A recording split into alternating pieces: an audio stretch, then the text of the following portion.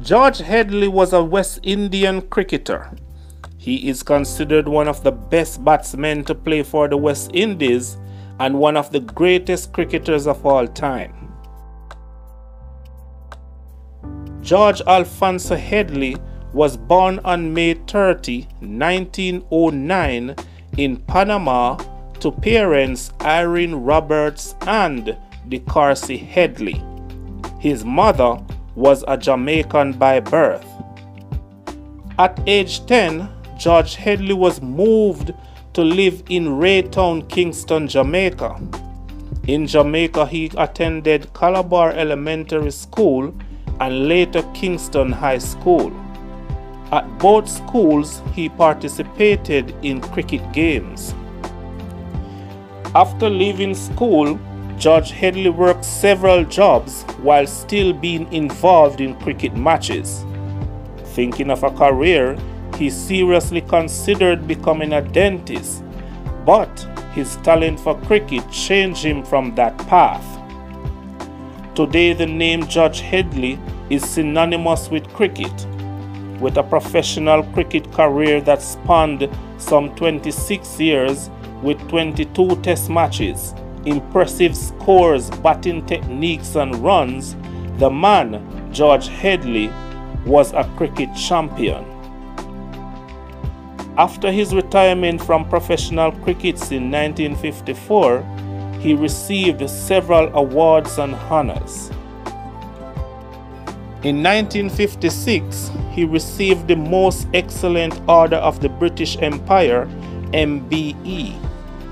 In 1958, he was made a honorary life member of MCC. In 1995, a bronze statue of him was erected at Sabina Park.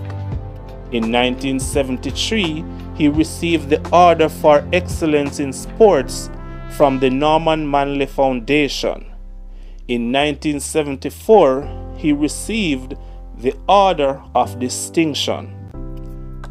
On September 6, 2009, 26 years after his death, George Headley was inducted into the International Cricket Council ICC Hall of Fame.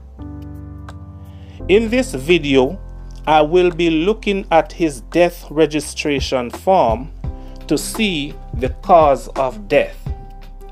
This is an interesting video.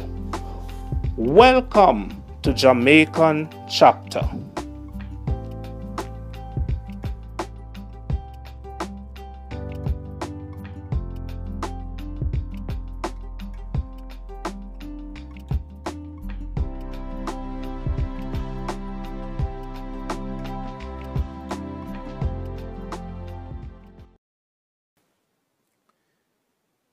This is the death registration form of George Headley.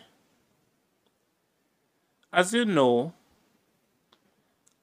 if you have been watching my videos, you would know by now that a death registration form records, among other things, the place of death, the date of death and the cause or causes of death.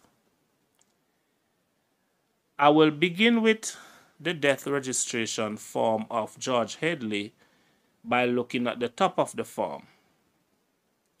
At the top of the form it says death registration form death in the district of Maybrown's Corner, Parish, St. Andrew. Uh, Maybrown's Corner is a place in the neighborhood of Constant Spring. We'll start by looking at the, the, the left of the form. And the first section in the left says place of death and they wrote Roehampton Avenue. Going across on the farm over on the right side, it says usual residence of deceased. In other words, permanent residence, the place that the individual was living prior to death.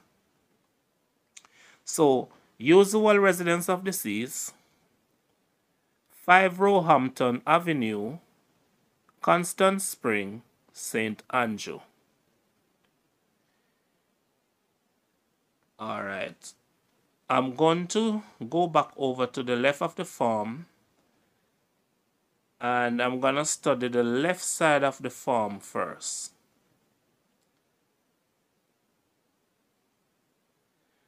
On the left side it says particulars of deceased, date of death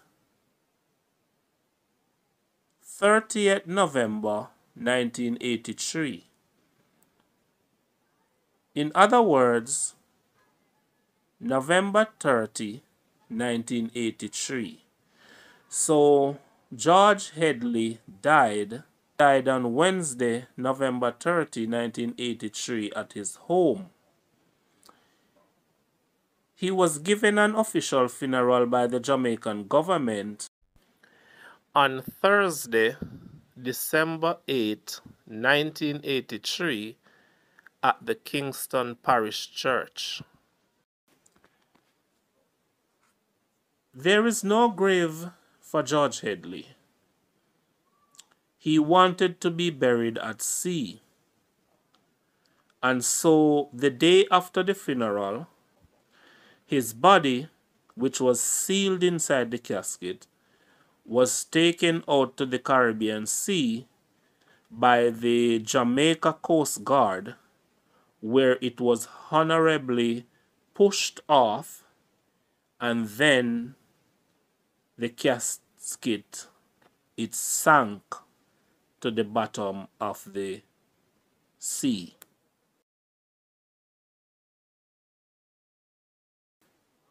So George Headley's grave is the Caribbean Sea. All right, let's continue on. Below that, it says full name. And they wrote George Alfonso Headley. So, yes, that was his full name. And going down, we see sex, male. So, we all know he was a male.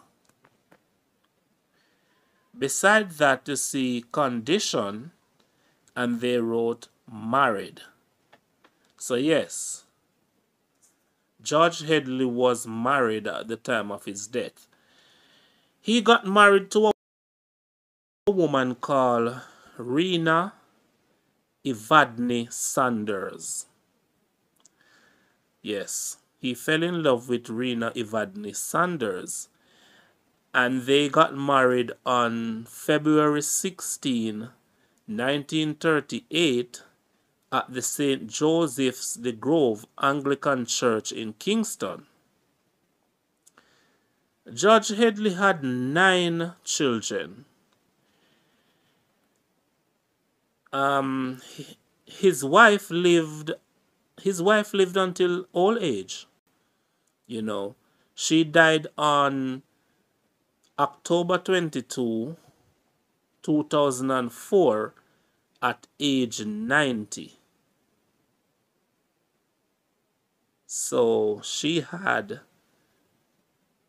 a long life. All right, let's continue. Below that, it says age.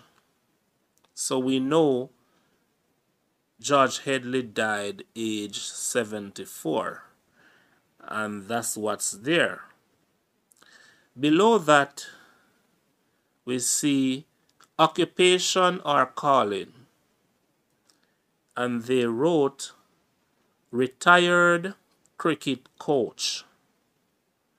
So yes, and you may you may wonder why is it they say coach and not retired cricket cricketer. Well, you see, after George Headley retired in 1954, he was still involved in cricket as a coach. You know, the coach of cricket of a cricket team and teams. And he also played, you know, just friendly matches and so on. And giving advice and things like that. So after 1954, he he took on the the role of, of, of coach. And who wouldn't who wouldn't want George Headley as a coach? I mean, he was the best of the best. And so when he retired and, and decided to take on the role of a coach, it was not difficult for cricket teams to want him as the coach. So on his death registration form, they put retired cricket coach, and that's okay. That's okay. Below that, we see birthplace, and they wrote Panama. So, yes, George Headley was born in Panama. All right, let's now look over at the right side of the death registration form in the section that is called cause of death.